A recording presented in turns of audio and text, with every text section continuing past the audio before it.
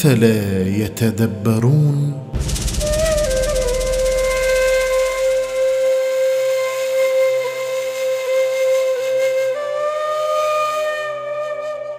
مختارات من وحي القرآن لما فيه سعادة الإنسان مع الشيخ الدكتور عبد الله سلقيني.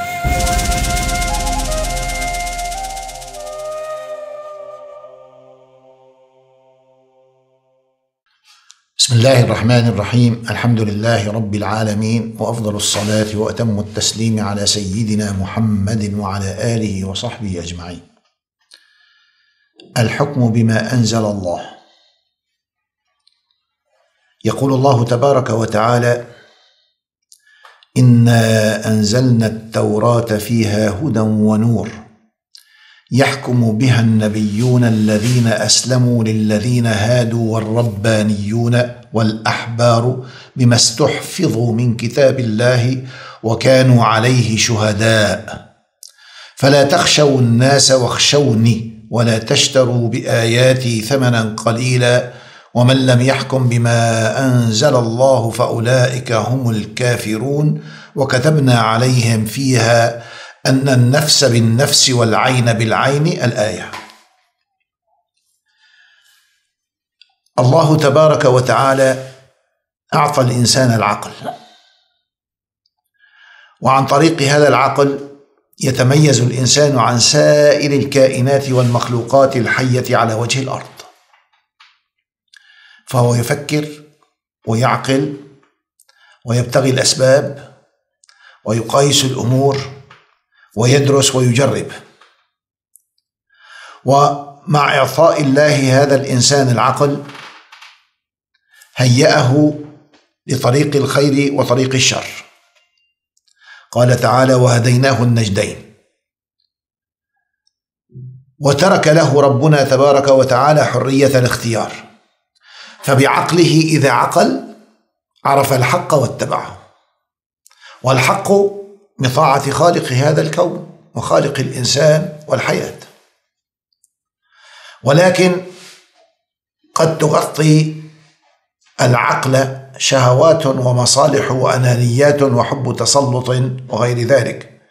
على هذا الإنسان فينحرف عن طاعة الله ويصبح عبدا لغير الله. فلم يترك الله تبارك وتعالى الإنسان هكذا. يضيع ويضل إنما أرسل له الرسل. في كل المعمورة. ذكر لنا القرآن جانبا من أسماء الرسل 25 نبي. وقال تعالى منهم من قصصنا عليك ومنهم من لم نقصص. ولكن هذه الآيات التي بين أيدينا تتحدث عن منطقة هي منطقة الشرق الأوسط وشمال أفريقيا. لماذا؟ وما هي أصول الدين أو أصل الديانات السماوية كلها؟ أصل الديانات السماوية كلها لا إله إلا الله. يعني لا طاعة ولا خضوع ولا تبعية ولا تقديس إلا لله خالق الكائنات. أما غير الله فهو مخلوق. إن كان من بيت النمر وإن كان بيت الكذا وإن كان من جماعة كذا وإن كان من جماعة كذا كلهم مخلوقات. الطاعة والتبعية لخالق الكون والإنسان والحياة. قال تعالى وما خلقت الجن والإنس إلا ليعبدون. يعني يعبدوا الله ولا يعبدوا غيره. وهذا معنى لا إله إلا الله. أي لا طاعة ولا عبودية ولا خضوع إلا لله. هل يحتاج الإنسان إلى طاعة ربه؟ نعم. الإنسان يحتاج إلى نظام وأسس تحدد العلاقات بين الناس في مجتمعات متعددة أو في مجتمع واحد. لا بد للإنسان من هذه الأسس لأن الإنسان اجتماعي بطبعه يعيش في جماعة. ليس كالحيوانات ترضع وليدها بعض الحيوانات أسابيع بعض الحيوانات شهر بعض الحيوانات أشهر ثم يستغني بنفسه عن أمه وتستغني عنه أمه فيذهب ليشق طريقه في الحياة. طعاما وشرابا وتناسلا. بنظام دقيق يخضع فيه الحيوان لربه سبحانه وتعالى. إلا الإنسان فإن له متطلبات كثيرة. لا يستطيع لا يستطيع أن يصل إليها إلا بمعاونة غيره من بني الإنسان. يولد ضعيفا. بقية الحيوانات تولد أقوى من الإنسان. مجرد ما يولد أو يخرج الصوص من البيضة يقوم على رجليه ويسعى جنب أمه. بجانبها تعلمه فينقر الطعام ويأكل. الحيوانات الأخرى الثديية مجرد ما يولد الحيوان يقف على رجليه ويسعى هو لثدي أمه. أما الإنسان إذا تركته أمه لولا العاطفة التي وضعها الله تبارك وتعالى في قلب هذه الأم الحنون لمات. هي ترفعه إلى ثديها وتلقمه الثدي. إذا ما حطته في أمه هو مش ما بيفهم ولا بيعرف. حتى يرضع ويشبع. وفي المرة الثانية والثالثة وإلى أن يفطم أمه تحتاج أن يحتاج أن تحمله أمه إلى ثديها. ثم يبدأ بالطعام شيئا فشيئا ثم يكبر وهكذا إلى أن يبلغ سن التمييز. وهو في كل هذه الأوضاع يحتاج إلى أم تساعده وتغسل له وتغسله إلى آخره. ويحتاج إلى أب يشتري وينفق ويطعم. فهو بحاجة إلى غيره. والأب عندما يعمل بحاجة أيضا إلى آخرين يتبادل معهم المنافع. يحتاج إلى البيع إلى الشراء إلى كذا.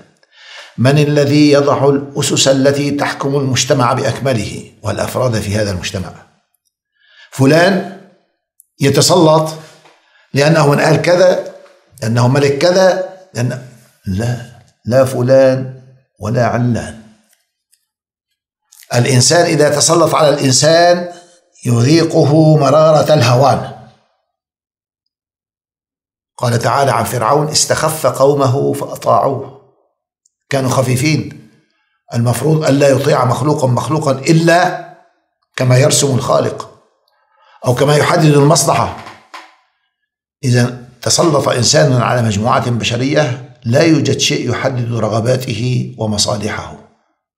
هو يستطيع بقانون يحدد مصالح الناس ولكن مصالحه مفتوحة. بقانون أقول الجماعة إرهابية قتلوهم خطة قلم. الله تبارك وتعالى يقول النفس معصومة. لا تقتل إلا بكذا إلا بأسباب القتل الجريمة أو الإفساد في الأرض أو أو إلى آخره.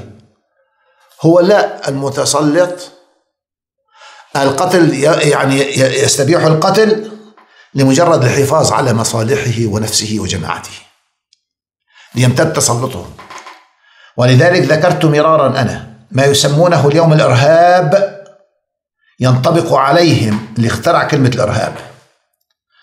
المتسلطون من الحكام ومن بيدهم السلطة إذا عذبوا الناس وأجبروهم على أن يخضعوا لسلطانهم بالإكراه بالسلاح بالتعذيب بالأمن فهؤلاء هم الإرهابيون.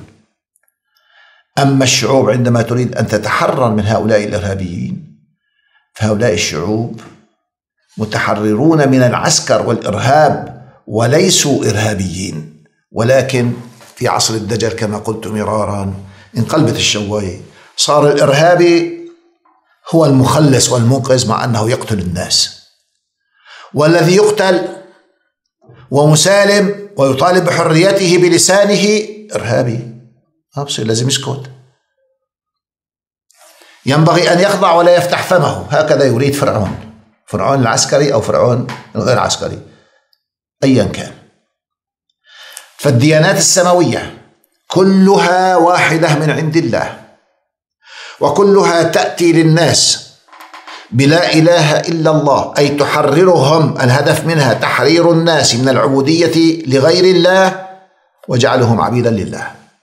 لأن الإنسان إذا ترك العبودية لله صار عبدا لغير الله حتى أهواؤه لا يجيز الله تبارك وتعالى للإنسان أن يكون عبدا لهواه.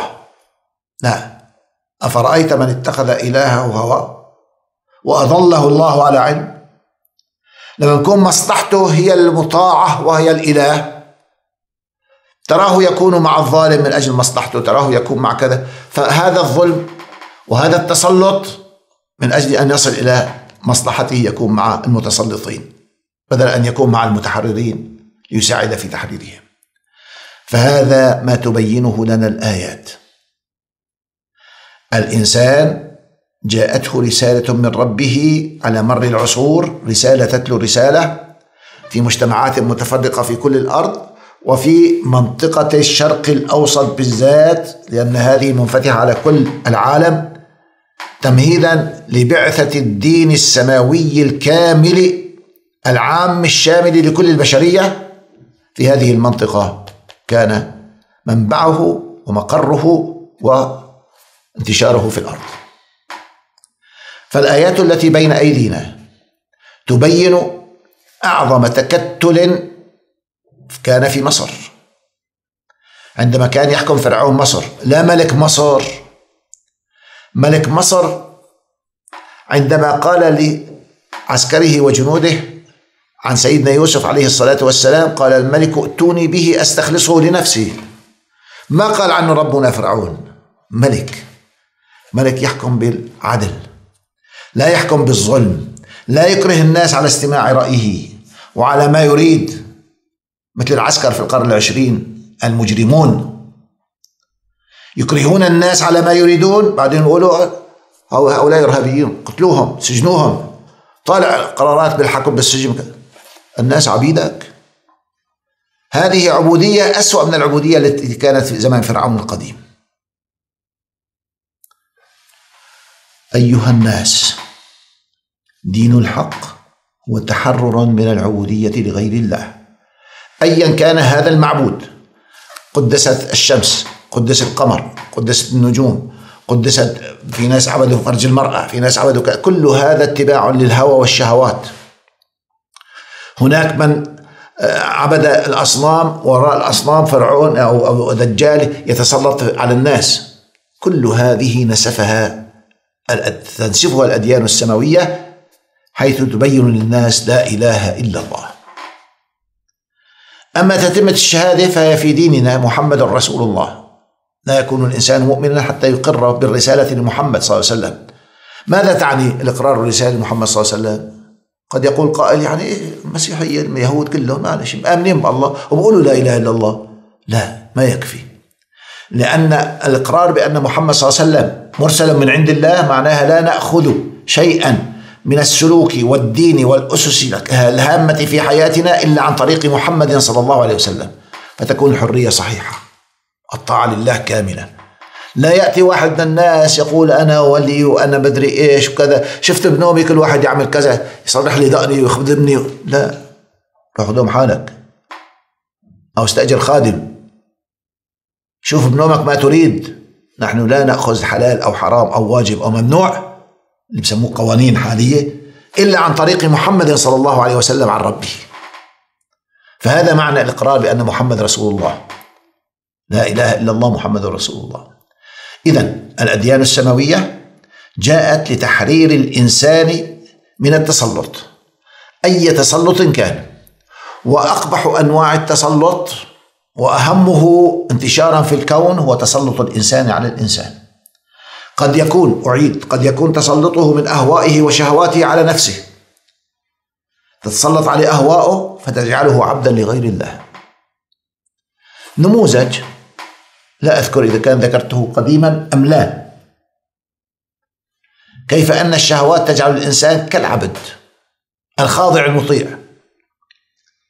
في بلد من البلدان أحد البشوات كان يخيف الناس وكان عظيما إلى آخره ولكنه كان يواظب لا يواظب في المسجد يواظب عند الراقصة فلانة والله ما أعرف اسمها ذكروا في الكتب أحوال هذه القضية. قديمة. كان عند الراقصة الفلانية تحبه ويحبها ويشرب عندها الخمر إلى آخره. يوم من الأيام اختصموا ظن حاله هو باشا فعلا ما هو عبد لشهوته. شتم وسب تحقرني أمام الناس. طيب يا بيه يا باشا يا مدري مرت الأيام وحن إليها وحاول أن يستلطفها. فزعمت له أنها رضيت عنه. ودعته إلى بيتها في يوم كذا في ساعة كذا. فقال ألبي على رأسي. وأخبرت أرسلت خادمتها إلى زوجته تقول لها إن طلبت زوجك في يوم كذا في الساعة كذا فأتي إلى حي كذا بناي رقم كذا إلى آخره. فيلا رقم كذا. المرأة تخاف على زوجها كل امرأة في العالم. جاءت المرأة مسرعه في الوقت المحدد. قرعت الباب باب الفيلا فتحت لها الخادمة تفضلي أجلست لها في مكان محدد مخصص لها. جاء الباشا فأدخل إلى غرفة واستقبلته هذه الراقصة الفنانة. سموها فنانة. وأدارت له كأس الخمر وكذا قالت له مبسوط يا بيه يا باشا؟ قال له أيوة. قالت له حاضر. انزل على الأرض يا باشا انزل على الأرض. على ركبه وعلى ايديه كالحمار يعني. انتظرت ظهره. ركبت عليه. امشي يا باشا. مشي الباشا. الحذاء للمرأة هذا كعب عالي سكربينة ما أدري شو يسموه لا تأخذوني أنا إذا أخطأت في الأمور ولكن المهم تفهموا علي. قالت له يا باشا ناولني سكربينة. هذا الحذاء ناول فردة الحذاء حطتها على رقبته. امشي يا باشا امشي يا باشا يمين يا باشا ادخل الباب يا باشا دخل الباب باشا. وصل أمام كرسي ورأى من الكرسي تحت يعني رجلين امرأة مدلاه رفع رأسه. وإذا بها زوجته مجلسته بغرفة. أمشي يا باشا وقف الباشا. طلعت في زوجته وهذه الماجنة تركب ظهره قالت له زوجته تفي عليك يا باشا. في عليك يا باشا. قامت انصرفت. طبعا زعل غضب ما ردت عليه. قالت له وحده بوحده بهدلتني وأنا سويت فيك المقلم ما الذي جعل الباشا ينزل على ركبتيه وتركبه هذه المرأة. والله لو كانت زوجته ما على شيء يركبها تركبه. أما امرأة كل يوم لا ترد لامس ينزل الباشا على الأرض من أجلها والناس تخاف من الباشا.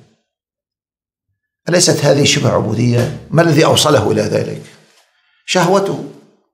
زعم أنه بحبه وكذا وإلى آخره بقضي وقت معه وبتمتع. يتمتع بزوجته. يتمتع بزوجة ثانية ضمن حدود الشرع. ولكن هؤلاء نسأل الله العافية لا يفقهون ذلك. لا يفقهون إلا تحقيق مصالحهم وشهواتهم. فيها خير ما فيها خير فيها ضرر بأسرتهم فيها ضرر بنفسهم فربنا تبارك وتعالى حرر الإنسان حتى من أهوائه وشهواته لأنه يمكن عن طريق أهوائه وشهواته يكون عبدا لغير الله.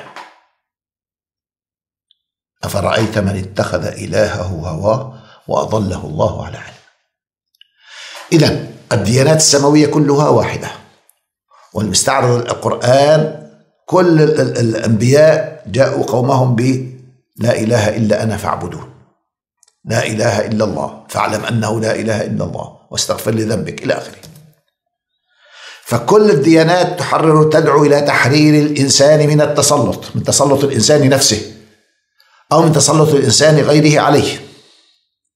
ليعيش حرا عبدا لله ولا يشرك في عبوديته مع الله أحدا.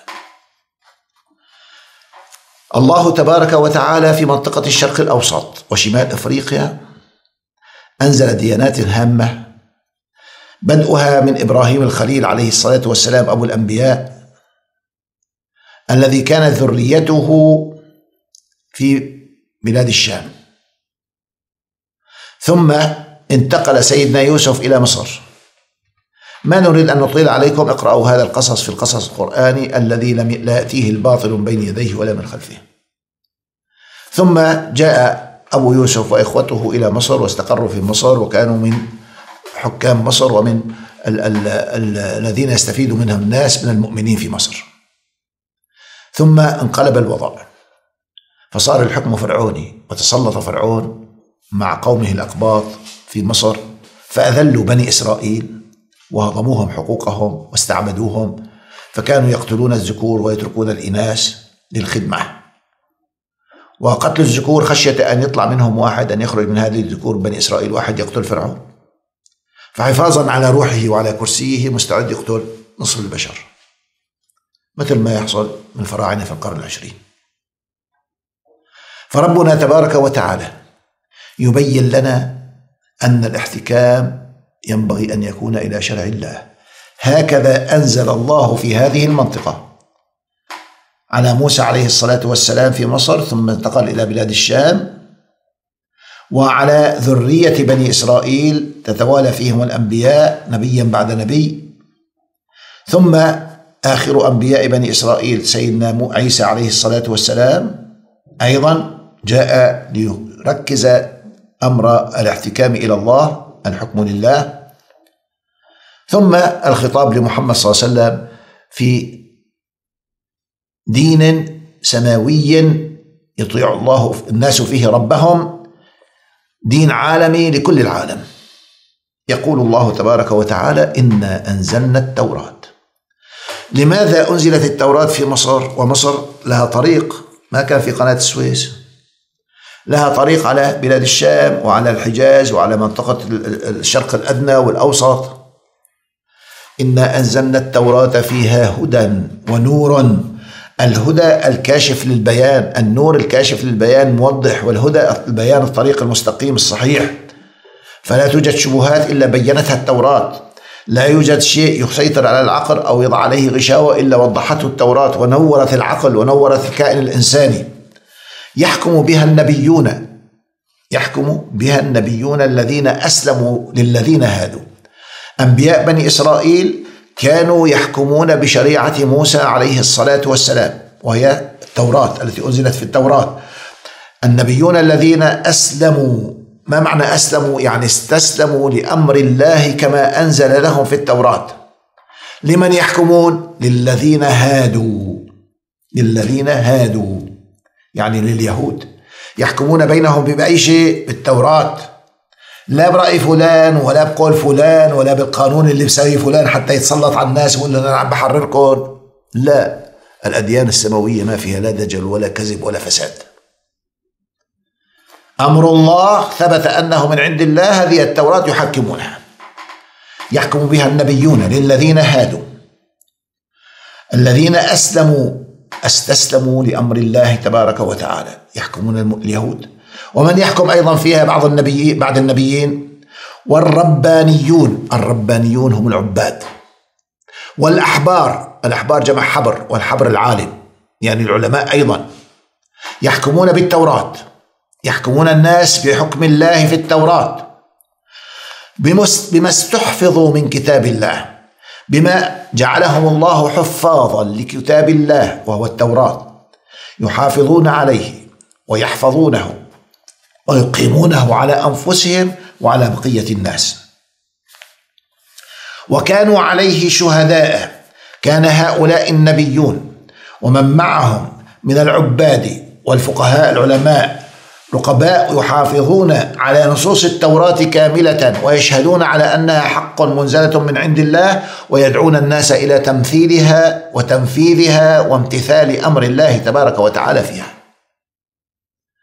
ألفت النظر الكلام سياقه عن اليهود ولكن آخر الآية تدل على أن هذا مطالب به كل البشرية لا في- بالنسبة للتوراة إنما بالنسبة لحكم الله المنزل من عند الله.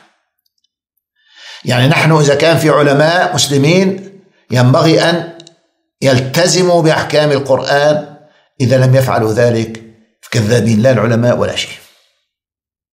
لأن العباد يعبدون الله كما أنزل في كتابه.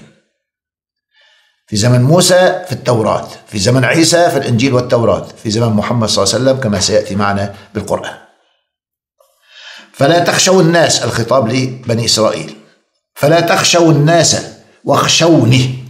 إذا كان الكتاب قائما وهو التوراة من عند الله فلا تخافوا من الناس فلا تذكروا صفة محمد صلى الله عليه وسلم. لا.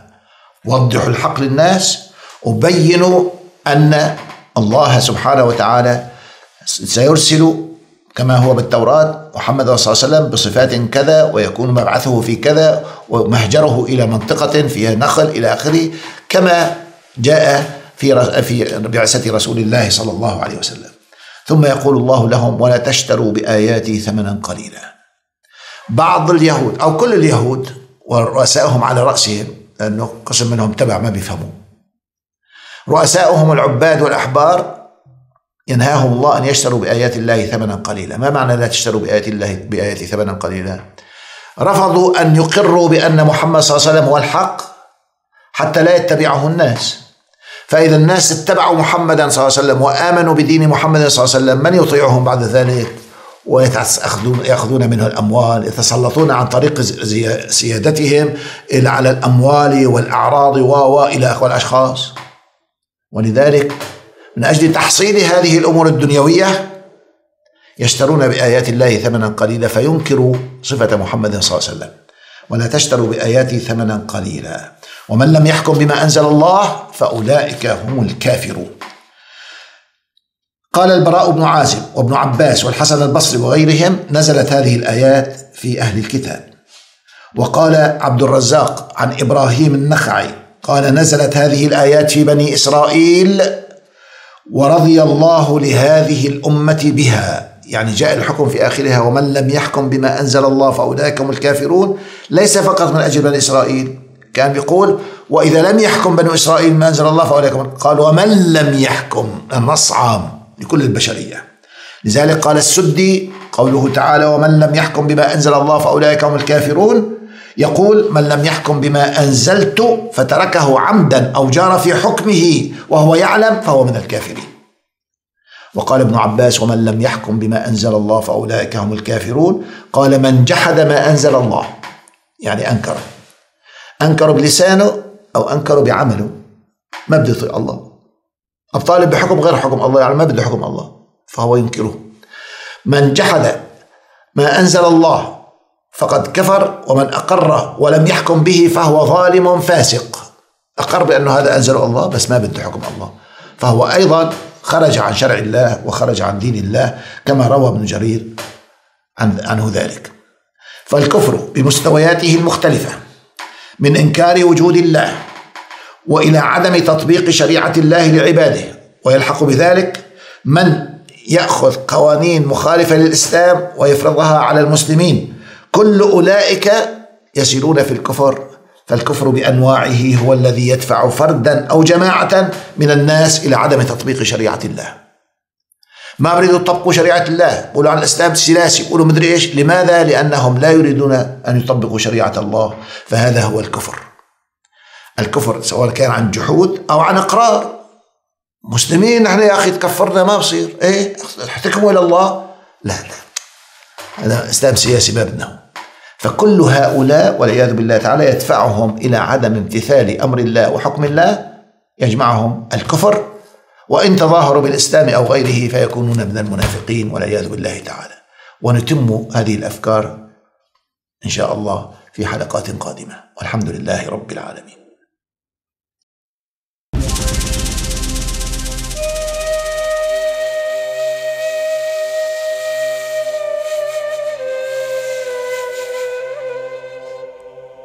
أفلا يتدبرون؟